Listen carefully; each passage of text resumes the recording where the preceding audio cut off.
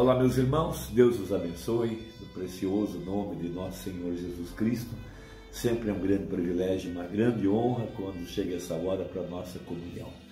Nós temos o grande princípio da palavra de Deus que o justo da sua fé viverá. E nós estamos trabalhando pela fé perfeita, aquela fé que diz amém para cada verdade da palavra de Deus, aquela fé que não conhece outra coisa a não ser a pura palavra de Deus. Esta fé que dá lugar ao assim diz o Senhor, aquilo que está escrito, sem, sem olhar para a esquerda nem olhar para a direita, sem acrescentar, sem tirar nada, apenas mantendo-se fiel àquilo que está escrito. E esta fé nos é restaurada pela mensagem de Malaquias, capítulo 4. De acordo com a profecia, a fé vem pelo ouvir e ouvir a sua palavra. E esta fé nos seria restaurada aqui no tempo do fim, quando toda a palavra fosse restaurada, quando todos os mistérios fossem revelados, quando a palavra em todo o seu poder retornasse outra vez para a igreja. O pão da vida, veja, o pão espiritual, a palavra Veja, por isso Jesus disse: nem só de pão viverá o homem, mas de cada palavra que sai da boca de Deus. E quando nós nos encontramos, veja, fracos, debilitados, é aí que nós precisamos buscar essa fé.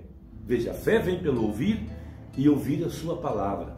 Em Isaías capítulo 40, verso 30 a seguir, diz assim: Os jovens se cansarão e se fatigarão, e os mancebos certamente cairão. Mas os que esperam no Senhor renovarão as suas forças, subirão com asas como águias e correrão, e não se cansarão, caminharão e não se fatigarão. Por isso, o justo da sua fé viverá, diz a Bíblia. Momana pregou uma importante mensagem sobre esse tema ou sobre esse assunto a mensagem chamada Elias e a comida oferecida. Então veja, muitas vezes nossa fé precisa ser provada. Veja, Deus nos, coloca em situações para ver se permaneceremos com a palavra ou não, se creremos em suas promessas ou não. E irmã então cita o caso daquela viúva lá nos dias de Elias, quando estava debaixo de uma pressão, veja, havia seca por toda parte, uma grande pressão econômica, escassez de alimento, escassez de, de, de, de tudo aquilo que vinha do campo.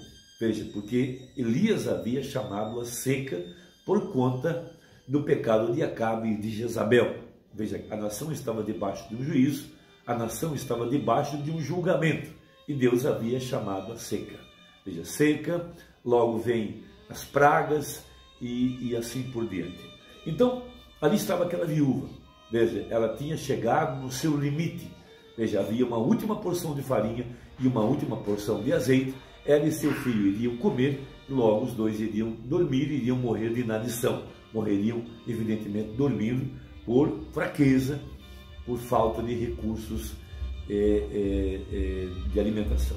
Então, veja, diz o Mombrano uma coisa muito importante e isso deve é, é, colocar o norte para a nossa fé, deve colocar alento em nossa alma, deve aumentar nossas expectativas. A fé, veja, move montanhas. A fé é um dom de Deus. Veja, pela fé, veja, os antigos alcançaram grandes testemunhos. Veja, apagaram a força do fogo, fecharam a boca dos leões.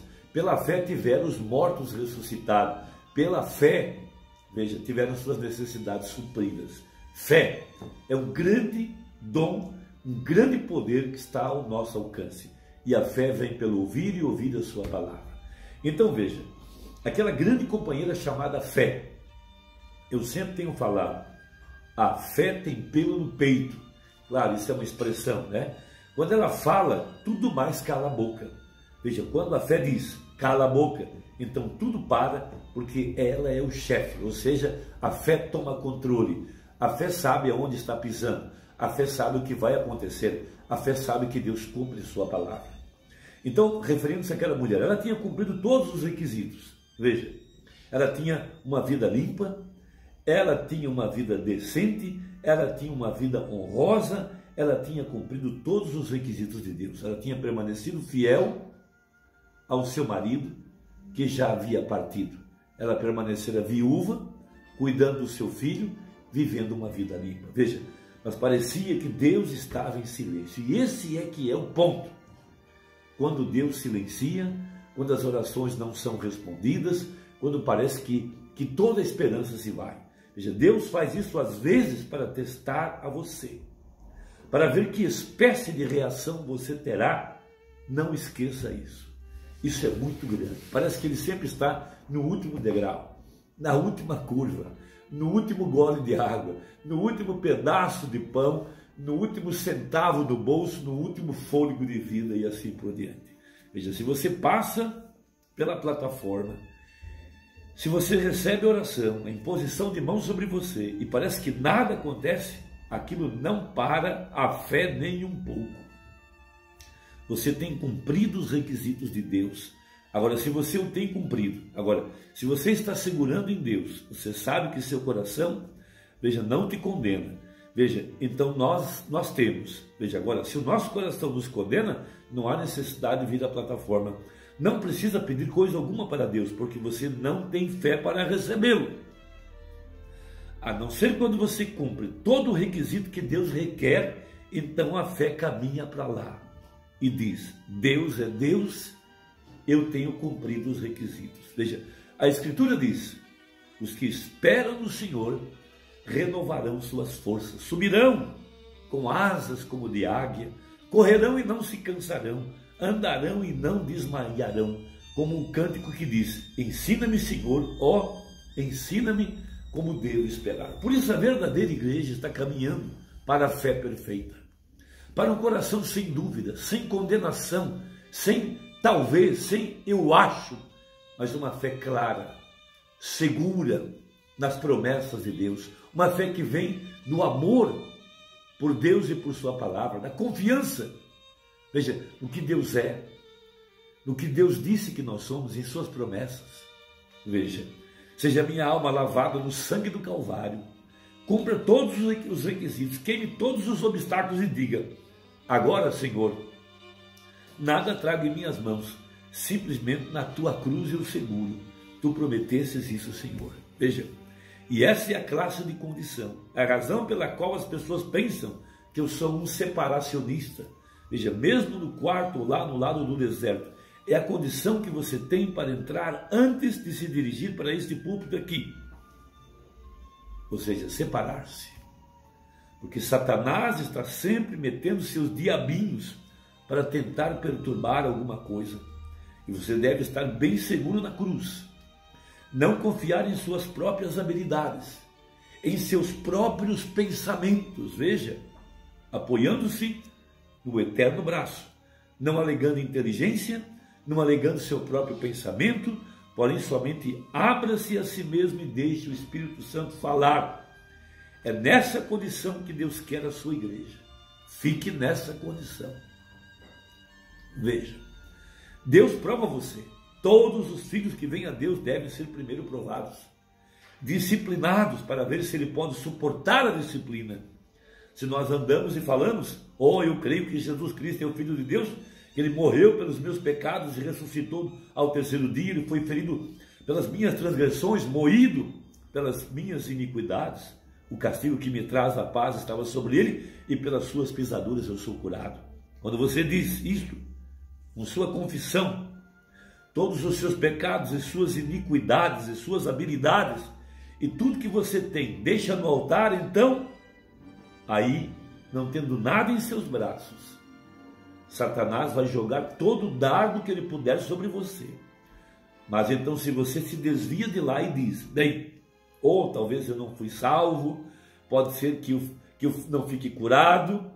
Então, desviando-se, a Bíblia diz que são filhos ilegítimos e não filhos de Deus. Veja, Deus testa cada filho de Abraão, como ele fez com Abraão, porque nós somos sementes de Abraão, estamos mortos em Cristo, nós somos sementes de Abraão e, e somos herdeiros de acordo com a promessa. A semente de Abraão e esse é o espírito que Abraão tinha, ele tinha a promessa dada. E se nosso pai confiou em Deus e levou na promessa uma impossibilidade e segurou nela por 25 anos antes que fosse manifestada, se fortificando todo o tempo, sua semente é justamente como o pai. Não importa o que aconteça, quando nós recebemos oração, está acabado. Quando tiramos tudo do caminho e cumprimos todos os requisitos, tiramos tudo do caminho, então pedimos a Deus e ficamos aí sabendo que temos de receber. Veja, Deus testou Jó dessa maneira. Quando Jó pediu por misericórdia, ofereceu um sacrifício para os seus filhos, a única coisa que aquele profeta tinha era uma oferta queimada, mas era tudo que Deus requeria. Tudo que Deus requer é o sangue de Jesus é tudo confessado. E depois, peça o que quiseres, e vos será feito. Confie na promessa, e Ele é o sumo sacerdote da nossa confissão. Deus te abençoe, espero que se ajude a sua fé nesse momento e que Deus possa fortalecê-lo e fortificá-lo. É a minha oração, em nome de Jesus. Amém.